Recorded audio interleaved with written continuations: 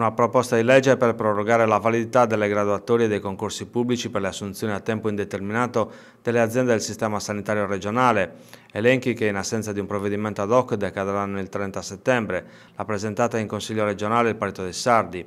Se non si interverrà per tempo, le legittime aspettative degli idonei delle graduatorie dei concorsi pubblici per l'assunzione a tempo indeterminato nel sistema sanitario regionale sono destinate a essere definitivamente sacrificate con l'imminente scadenza delle graduatorie prorogata dalla legge di stabilità 2018 al 30 settembre, spiega in una nota il consigliere Roberto Desini, primo firmatario della proposta di legge. Già lo scorso anno presentammo una proposta simile che è stata completamente ignorata dal Consiglio regionale e dalla Giunta a Pigliaru. Dall'assessore alla sanità Luigi Arru ci saremmo aspettati una maggiore attenzione e sensibilità, ma riguardo a questo argomento dal quale dipende sia il futuro professionale e umano di tanti professionisti che hanno superato i regolari concorsi, sia la qualità dell'offerta sanitaria e la salubrità dei bilanci dell'intero sistema, l'assessore non ha trovato il tempo di spendere una sola parola, continua Desini.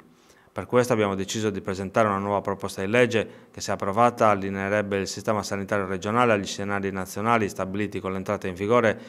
dalla legge del 27 dicembre 2017, la numero 205, bilancio di previsione dello Stato per l'anno finanziario 2018 e bilancio pluriennale per il triennio 2018-2020. Questa norma all'articolo 1,1148 ha disposto la proroga dell'efficacia delle graduatorie dei concorsi pubblici per assunzione a tempo indeterminato al 31 dicembre 2018. La proposta di legge presentata dal Partito dei Sardi, conclude la nota, agisce anche in prospettiva di contenimento e risanamento della spesa pubblica regionale, sulla quale ha finora ingiustificatamente inciso in modo rilevante il frequente ricorso a forme contrattuali flessibili e in particolare alla somministrazione di lavoro interinale.